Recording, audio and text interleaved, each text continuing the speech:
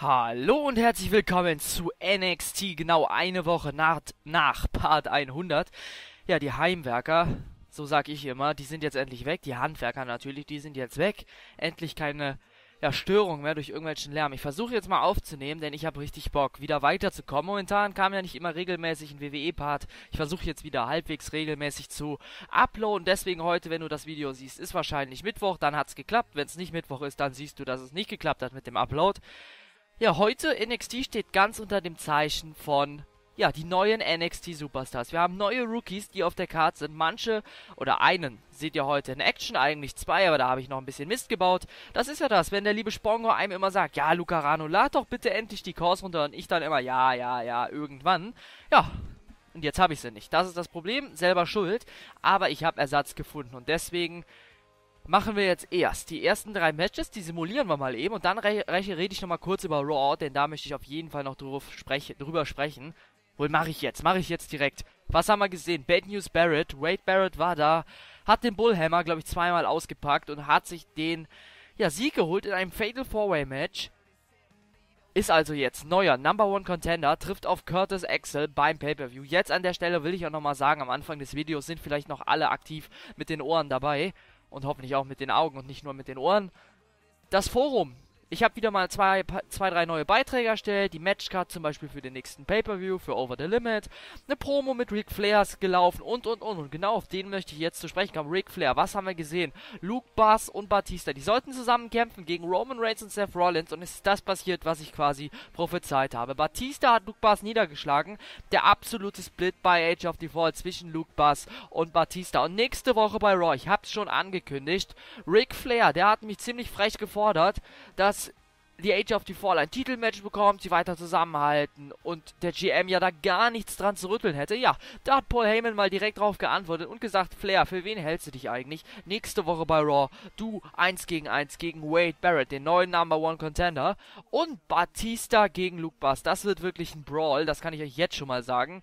Bei SmackDown wird Luke Bass ja auch in Action sein, wenn er gegen Kofi Kingston, ich glaube es ist Kofi Kingston, sein ja, Turniermatch bestreitet. Also wirklich, wirklich nice.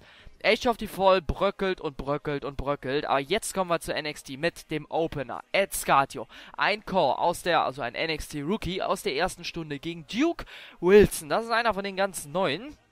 Genau wie der Mann im zweiten Match, Leroy Anderson. Ihr könnt den Namen nicht ganz lesen, aber deswegen sage ich euch nochmal, wie er heißt. Der tritt an gegen Corey Graves. Die Matches, die ihr hier seht, die drei Matches sind alle geforderte Matches von euch und eigentlich sollte Tyson Kidd gegen, gegen wer war, gegen wen war es nochmal? Gegen wen sollte er? Gegen Jack Spencer. Und bei Jack Spencer ist mir ein kleines Malheur passiert. Ich dachte, der wäre inaktiv und habe ihn gelöscht. Ich dachte wirklich, der wäre gar nicht mehr dabei. Also, Ed Scartio gegen Duke Wilson beginnt die NXT-Karriere von Duke Wilson mit einem Sieg oder doch mit einer Niederlage gegen Ed Scartio. Mit einer Niederlage. Ed Scartio gewinnt. Wow, das ist auf jeden Fall so oder so wäre der Sieger überraschend gewesen, weil Escartio kann man ja nicht, bei, bei dem kann man nicht immer mit einem Sieg rechnen. Match 2, Corey Graves gegen Leroy Anderson. Das ist auch ein Match, was ich am liebsten geguckt hätte, aber ich habe zwei andere Matches zu den Live-Matches erkannt, äh, erkoren. Graves gegen Leroy Anderson. Ich hoffe, es wird nicht wieder zu viel mit den Versprechern, ihr merkt das. Ich tippe mal Corey Graves. Das wäre schon ein ziemlich harter Sieg, wenn jetzt hier Leroy Anderson direkt sein Debüt gewinnt. Aber er gewinnt. Guckt euch an. Er besiegt Corey Graves. Match 3. Wie gesagt, da sollte eigentlich ein anderes Match hin. Tyson geht in Action gegen Kevin Young. Aber Sieg für Kevin Young. Damit hätte ich jetzt nicht gerechnet. Und jetzt die zwei Live-Matches. Erstes Live-Match. Die Ascension. Die Leute, die zusammen, das Tag-Team, das zusammen natürlich beim Pay-Per-View Over the Limit mit dem Team Razar und Jack Steele, mit den Real Steels, den NXT Tag Team Champions, in den Ring steigen wird. Auch im Forum dazu nochmal die Matchcard, habe ich ja eben gesagt. Da könnt ihr alles, was bekannt ist, schon mal nachlesen. Ist noch nicht alles drin, aber da wird natürlich der Rest noch kommen. Und die treten an gegen die Primetime Players. Die zwei haben sich wieder zusammengefunden. Meine Idee war es ja und ich habe gesagt, ist das okay? Und sie haben gesagt, ja, wir machen wieder die Primetime Players. Dann haben sie ein Tag Team Match gefordert, gestern Abend im Forum. Und ich dachte mir direkt, das passt doch ideal gegen die Ascension. Und das ist jetzt auch das erste Match, was wir wir uns angucken und dann im Main Event, im Main Event das erste Live-Match sozusagen für einen anderen NXT-Rookie, nämlich für Ryan Ramirez. Der Mann, ich sag mal noch nichts, das werdet ihr gleich spätestens nach dem Entrance äh, schon merken. Damals bei Luke Bass habe ich, glaube ich, genau dieselben Worte gefunden. Der Mann macht Impact, aber dazu kommen wir gleich einfach. Ja, Black Screen, ich weiß, dass das Spiel nicht hängen geblieben ist. Ich muss einfach länger warten. Wäre sonst jetzt sehr traurig, wenn das jetzt wieder hängen geblieben wäre. Aber wir warten einfach mal. Aber wie gesagt, Batista und Luke Bass, die werden nächste Woche bei Raw sich die Köpfe einschlagen. Dann noch Ric Flair gegen Bad News Barrett. Also das ist schon puh, eine gute Karte, die da steht. Und für den Pay-Per-View stehen dann bisher zwei Matches an. Zwei gegen drei Handicap-Match. Ich hab's ja gesagt, im Forum steht's auch nochmal. Ric Flair und Luke Bass zusammen gegen The Shield. Und jetzt hat sich das Spiel anscheinend doch verabschiedet. Ich hoffe eigentlich nicht. Versuche gerade mal meine Playstation irgendwie zu bewegen. Das kann jetzt wohl nicht sein. Ich höre nämlich die Musik immer noch. Das heißt, das Spiel kann nicht hängen geblieben sein. Das war ja schon mal. Ich glaube, bei Part 100 hatte ich diese Probleme auch schon. Wäre jetzt cool, wenn es natürlich weitergehen würde. Aber sieht schlecht aus.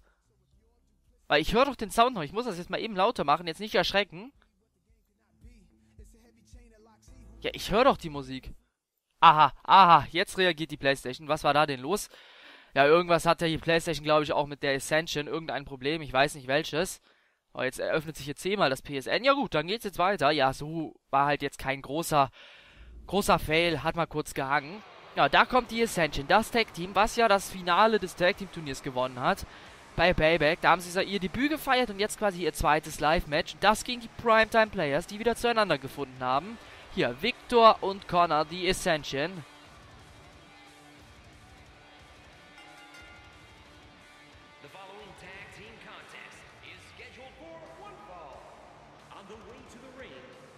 At a total combined weight of 484 pounds, Victor and Connor, the Ascension.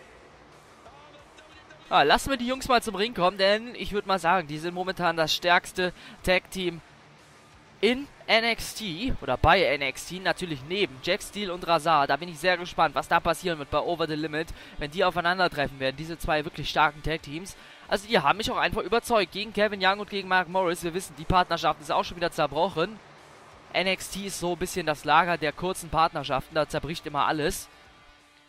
Und jetzt natürlich. Die Herausforderer haben wieder zueinander gefunden. Die Prime Time Players. Titus O'Neill und Darren Young. Ich bin mal gespannt, wie sie zusammen, ja, zusammenarbeiten können halt. Waren ja beide auch Teil des SmackDown-Turniers. Titus O'Neill ist in der nächsten Runde, wird also auch bei SmackDown in Action sein. Darren Young, ja, wissen wir ja, die Geschichte ist ausgeschieden in Runde 1 gegen John Cena. Da jetzt noch meine Frage an euch. Gibt es in dem Spiel keinen Primetimes Player Entrance, dass die auch so reinkommen und auch mit ihrer Musik? Weil das ist jetzt natürlich komplett einfach nur beliebtes Duo. Primetime Player, äh, hier, Titus O'Neill Musik, Titus O'Neill Titantron. Wisst ihr, ob es da noch eine andere Möglichkeit gibt? Weil ich dachte mir, die waren doch am Anfang gespielt so standardmäßig als Tag-Team. Da werden die doch auch einen vernünftigen Entrance gehabt haben. Aber ich weiß es nicht. Dann kommen wir jetzt hier mal zu diesem Tag Team Match. Wie gesagt, Primetime Players sind kein Teil von NXT, das will ich nochmal betonen. Das ist ein SmackDown Tag Team, so wie es im Buche steht. Und ich bin mal gespannt, ob die NXT Champions, also zukünftigen, also ne, Moment, die NXT Tag Team Champions, so was ich sagen wollte. Razar und Jack Steele, die haben sich ja bisher überhaupt nicht ja, wie soll ich sagen, irgendwie gezeigt in den Kommentaren oder im Forum, dass sie irgendwie ja schon irgendwelche, ja, Kampfesreden sozusagen an die Ascension richten, aber bisher alles ruhig geblieben. Die Ascension hat Matches gefordert und die Primetime Players sowieso und da dachte ich mir, das passt doch wunderbar. Bevor wir jetzt irgendwelche Tag Team Matches bringen, die keiner will, bringen wir doch hier zwei Teams, beide wollen ein Match, tun wir sie gegeneinander, alle sind zufrieden. Ja, The Real Deal, Titus O'Neill und das ist auch so der Mann, wo ich sage, Titus O'Neill und Darren Young zusammen. Das ist wieder so ein Tag-Team, was mir einfach gut gefällt, weil man hat Titus O'Neill, den Powerhouse. Guckt euch den Kerl an, was der für eine Maße hat alleine, wie groß der ist und was für eine Power der hat. Und jetzt guckt euch an, diese Technik von den beiden. Suplex und da befördert er Darren Young auf den Gegner. Das ist schon ziemlich gut gemacht, finde ich. Und Darren Young ist halt so eher der Schnelle, der Techniker. Hier, seht das? Schneller Dropkick gegen die Beine. So eine Aktion würde ein Titus hier zum Beispiel nie bringen, ganz verständlich. Aber ihr seht, die ergänzen sich beide. Vielleicht das Einzige, was ihnen noch fehlt, ist vielleicht noch ein bisschen Submission-Spezialist, aber das braucht man ja auch nicht unbedingt. Ja, diese Frage dann natürlich, wie ist das bei der Ascension aufgeteilt? Jetzt Powerbomb-Ansatz, aber gerade Konter von Darren Young. Wunderbar gemacht und er macht es jetzt genau richtig zeigt eine gute Aktion und wechselt zu Titus O'Neill. Aber jetzt auch die Ascension, jawohl, mit einem Wechsel. Jetzt glaube ich Victor drin. Oder Connor, ich kann es ja nie unter, äh, unterscheiden. Irgendwann habe ich es auch drauf, keine Sorge. Oh, das war ein harter Clothesline. äh, Rip-In natürlich und der Back-Suplex. Natürlich, guckt euch die beiden Ascension-Jungs an, das sind beides keine Hämpflinge, die haben auch beide ordentlich was drauf. Und jetzt, oh, das Katapult unter den Seilen, jawohl, und das geht durch. Das tut weh, weil viele vergessen immer, diese Seile sind ja aus Metall. Also dünnes, biegsames Metall, aber trotzdem. Wenn man da so gegenklatscht, wie Titus O'Neill da gerade, angenehm ist anders. Ja, und in den Kommentaren einiges ist es auch, einigen ist es schon aufgefallen. Der Eurofighter, ganz mysteriöse Promos. Also was da im Gange ist, ihr könnt ja mal spekuli spekulieren, was da so vielleicht ansteht in näherer Zeit oder in späterer Zeit. Man weiß es ja nicht. In der Zukunft, irgendwas wird passieren. Oder Eurofighter ist einfach nur ein Troll. Das wäre natürlich auch ziemlich geil. Ich bin mal gespannt, was sich da ergeben wird. Vielleicht wird er sich ja irgendwann zu erkennen geben. Wer weiß das schon.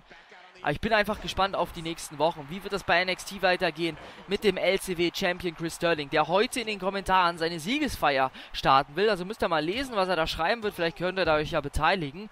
Äh, gebt ihr mal ordentlich hier, wie heißt das, äh, Gegenwehr. Also lasst den da nicht in Ruhe feiern, macht mal ordentlich Beef da bei dem. Sprengt die mal die Party sozusagen.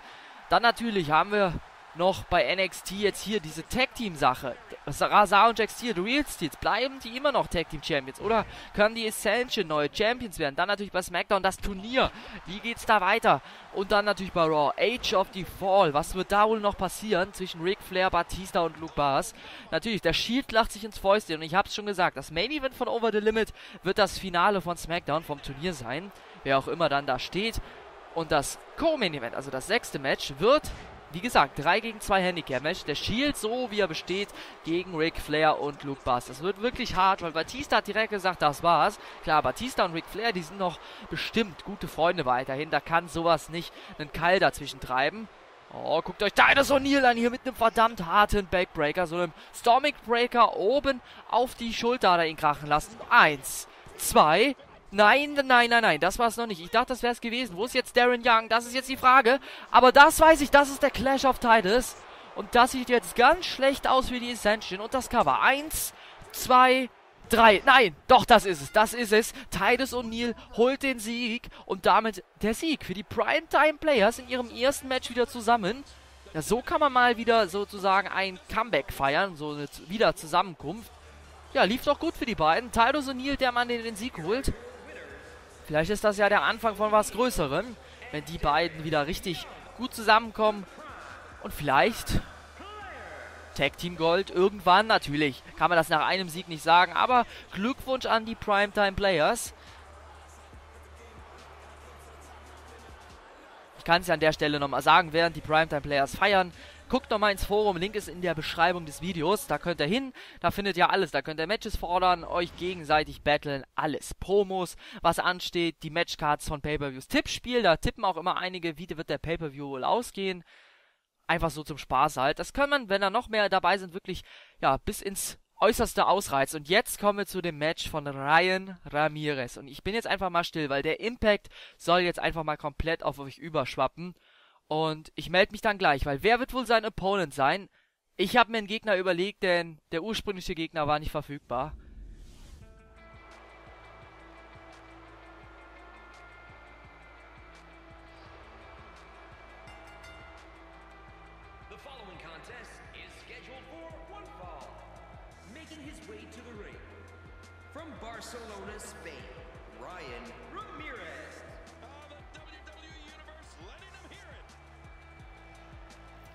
Das ist also Ryan Ramirez. Also wenn ihr mich fragt, der macht auf mich einen geilen Impact. Also Eindruck. Wirklich nice, finde ich. Bin mal gespannt, wie wohl der Werdegang oder wie soll ich sagen, ja, so die Laufbahn des Ryan Ramirez wird. Bin da sehr gespannt. Kann natürlich auch sein, dass ich jetzt komplett daneben liege. Und natürlich sein Motto. Don't hunt what you can't kill. Also jage niemals das, was du auch nicht töten kannst. Ganz klare Message. Der Mann hat was vor bei LCW und hier natürlich bei NXT. Also dieses Gefühl von diesem Impact hatte ich das letzte Mal, als Luke Bass kam, in seinem allerersten Match. Da dachte ich auch, wow, das ist ein Impact. Klar, absoluter Heal, der Junge. Das erkennt man direkt. Der hat nicht unbedingt Bock auf Partnerschaften und Co. Der will einfach nur seinen Namen irgendwann ganz oben in der WWE stehen haben. Das ist komplett klar. Klar, was, was denn sonst? Also, wer will das nicht? Aber der ist halt hier nicht auf Friede, Freude und Partnerschaft irgendwie gestimmt. Der will einfach nur erfolgreich sein. Und das ist sein Gegner für heute Abend. Der Mann, ja, der so ein bisschen in Vergessenheit geraten ist, finde ich. Unser NXT Champion. Adrian Neville, ja klar, es ging die ganze Zeit nur um den LCW-Champion, um Chris Sterling. Der feiert ja heute einfach in den Kommentaren, ist ja kein aktiver, verteidigender 24-7-Champion, der macht ja lieber eine Feier in den Kommentaren. Ja, Adrian Neville, der lässt sich das allerdings nicht zweimal sagen. Ich habe angefragt, Neville, hast du Bock? Und das ist doch jetzt mal auf jeden Fall ein Debüt für Ryan Ramirez, direkt gegen den NXT-Champion Adrian Neville. Der 450 Splash, der Red Arrow, alles was in seinem Repertoire steckt, das wartet alles auf Ryan Ramirez. Aber guckt euch den an. Der sieht jetzt nicht gerade ver, ja, wie soll ich sagen, verängstigt aus. Der hat auf jeden Fall jetzt noch mehr Motivation, um hier natürlich sein wichtiges erstes Match, sein Debüt bei NXT zu gewinnen. Natürlich ein Sieg gegen Adrian Neville. Wow, das wäre schon ein Ausrufezeichen. Aber ich finde, das ist ein geiles Match. Ryan Ramirez jetzt also gegen NXT Champion Adrian Neville.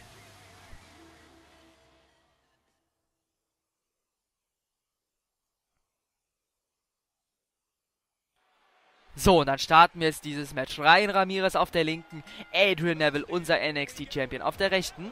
Ja, wir haben ja jetzt zwei Champions, zwei Einzel-Champions bei NXT. Ich habe es schon mal angesprochen. Chris Sterling und Adrian Neville natürlich. Der LCW-Champion, ja, Kevin Nash sei Dank, könnte man sagen. Beziehungsweise bei mir in meiner Position eher weniger. Und guckt euch die beiden hier an betteln sich mal direkt draußen außerhalb des Rings. Der Referee zählt sich natürlich an. Ganz normales Match, das ist klar, weil wir wollen hier ein ganz normales, faires Match sehen. Und guckt euch da Ryan Ramirez an. Kommt direkt mit dem Running STO. Ich bin mal gespannt. Ryan Ramirez macht auf mich einfach einen Eindruck, wo ich mir sage, das kann ein großer werden. Aber natürlich habe ich das auch schon bei anderen Leuten gesagt. Man muss abwarten, was die nächsten Wochen bei ihm bringen. Natürlich heute Abend sein Debüt. Direkt gegen Adrian Neville. Man würde sagen, ja klar, das ist doch ein geiler Gegner für ein Debüt. Aber natürlich, er ist auch der NXT Champion. Nicht ohne Grund. Das bedeutet, Adrian Neville ist jetzt kein, ich sag mal, Santino Morella, ne? Ihr wisst, was ich meine. Und da muss Ryan Ramirez wahrscheinlich heute doch 110% bringen, um ihn zu besiegen. Und ich weiß auch nicht, ob das dann reichen würde. Aber jetzt Ramirez mit der Ringtreppe. Er will ja hier wohl nicht disqualifiziert werden. Oder ist es ihm total egal, wie sein Match ausgeht. Er will einfach nur, ja, zeigen, hier bin ich. Und das kann ich. Ja, und so eine Disqualifikationsniederlage mit einer Attacke mit der Ringtreppe gegen den NXT Champion. Gibt Schlimmeres, ne? Aber Neville, der lässt sich davon hier gar nicht beeindrucken, macht hier direkt weiter. Das ist so ein schönes Match, da braucht man gar nicht über was anderes reden. Da kann man direkt mit den Augen bei der Action bleiben. Und wieder Running STO von Ryan Ramirez. Und jetzt geht er zurück in den Ring. Klar, der will hier anscheinend doch mal gucken, ob Neville draußen liegen bleibt. Naja, der kommt zurück bei 6. Klar, das hat noch nicht gereicht. Das ist ja nicht umsonst unser NXT Champion. Der hat es ja auch verdient, den Titel zu tragen. Nicht wie so ein anderer Champion bei NXT. Hashtag Sterling sucks. Ich fände es geil, wenn das möglichst viele von euch schreiben würden oder irgendwie, irgendwie sowas gegen Chris Sterling, weil der hat es einfach nicht verdient, LCW Champion zu sein. Muss man mal so sagen, das ist jetzt keine Pipebomb hier, aber es ist einfach so. Er hätte den Titel ohne die Hilfe von Kevin Nash nie, nie, nie, nie, niemals gewonnen. Nie, niemals. Also ist ganz klar. Oh, schön. Überwurf hier von Ryan Ramirez. Der zeigt nicht so die, wie soll ich sagen, die Technik-Moves, aber der zeigt halt einfach diese Moves, die den Gegner einfach richtig, richtig zusetzen. Und jetzt, jetzt, jetzt habe ich es gerade gesagt, jetzt geht er zum Kommentatorentisch. Jetzt will er hier direkt in seinem Debüt, das muss man sich mal hier geben, der ist jetzt vielleicht gerade mal 5 Minuten aktiv bei NXT und er versucht jetzt etwa direkt Adrian Neville durch den Tisch zu slammen, aber jetzt geht es erstmal zurück in den Ring. Da bin ich auch fast froh drüber. Stellt euch mal vor, die beiden hier in dem Debüt von Ryan Ramirez direkt durch den Kommentatorentisch, eben schon mit der Ringtreppe. Also er zeigt, ja, Ruthless Aggression würde ich sagen. Was war das denn gerade für ein Clothesline? Das Cover. Eins, zwei. Wow, da kommt jetzt Neville im letzten Moment raus. Was war das denn? Habt ihr den Clothesline gesehen? Wie da einfach, ja, Ryan Ramirez angeflogen kam und den er einfach aus den Socken gehauen hat. Wow, also das war mal ein Clothesline, der hat mir jetzt sehr, sehr gut gefallen. Aber jetzt muss er natürlich weitermachen. Jetzt darf er Neville nicht zurück ins Match kommen lassen. Jetzt könnten vielleicht die Karten ganz gut stehen für Ryan Ramirez. Das wäre natürlich jetzt der Oberhammer. Aber guckt euch Neville an hier. Wow, Leg Drop. Guillotine Leg Drop auf dem Ringrand. Typische Undertaker-Aktionen eigentlich. Jetzt sind wir wieder im Ring. Das war wichtig. Und wieder der Überwurf von Ryan Ramirez. Der läuft sehr, sehr gut für ihn, das Ganze. Das ganze Match läuft sehr, sehr gut. Und jetzt scheint er hier etwa schon Feierabend machen zu wollen. Mit dem NXT Champion? Was? Das war ein Powerslam. Urina Urinage, glaube ich, heißt diese Aktion. Wow, was ein Powerslam. Da kracht Neville auf die Matte. Eins, zwei, drei. Das ist der Sieg für Ryan Ramirez in seinem NXT-Debüt gegen den NXT Champion. What? Wow. Guckt euch das an. Da war der Closer nochmal. Wir müssen uns das nochmal angucken. Das geht doch nicht. Der gewinnt. Der gewinnt sein Debüt gegen den NXT Champion. Da kommt Neville in den Ring, kommt angestürmt, wird ja überwurf und das war quasi der Anfang auch vom Ende. Und hier dann, guckt euch diesen Power Slam an, meine Herren, wie hoch er da Adrian Neville hebt und ihn dann auf die Matte slammt. Und dann hier das entscheidende Cover. Drei, alles vorbei. Wow, das war mal ein Debüt. Guckt ihn euch an. Ryan Ramirez kann sich jetzt zurecht feiern lassen. Hat gezeigt, was in ihm steckt. Jetzt? Oh, jetzt kommt Tamina! Was ist das denn? Da kommt Tamina Snooker und die hängt sich hier mal direkt an seinen Arm. Also, wenn das nicht der perfekte Abend für Ryan Ramirez ist. Erst gewinnt er hier sein NXT-Debüt. Zweitens muss man sagen, er gewinnt gegen den NXT-Champion. Und jetzt holt er sich hier auch noch die Schnecke Tamina Snooker. Jetzt sagt mir nicht, Tamina Snooker ist hässlich. Gibt eindeutig hässlichere Frauen auf der Welt. Das war NXT. Das war auf jeden Fall mal wieder eine Folge. Eine der besten, würde ich fast sagen, weil das war mal wieder so ein Moment. Dafür erstellen wir doch unsere Rookies. Jeder will genau, eigentlich genau so ein Debüt haben. Bei vielen klappt es nicht, aber das war ein Ausrufezeichen. Neville, der NXT Champion, verliert gegen Ryan Ramirez. Der kassiert die Frau und jetzt in den Kommentaren guckt auf jeden Fall mal rein. In der Beschreibung findet ihr noch den Abstimmung zur Kapitänswahl vom FIFA 15 Team den Link zum Forum, wo ihr auch natürlich alle mal reingucken könnt, ob ihr da irgendwas findet, was ihr noch nicht kennt, Matches fordern und, und, und. Zum Beispiel die Primetime Players, die haben ja auch Match gefordert und bekommen und sogar gewonnen. Und jetzt natürlich in den Kommentaren die Siegesfeier von Chris Sterling. Das soll es gewesen sein. Bis dahin, hell yeah!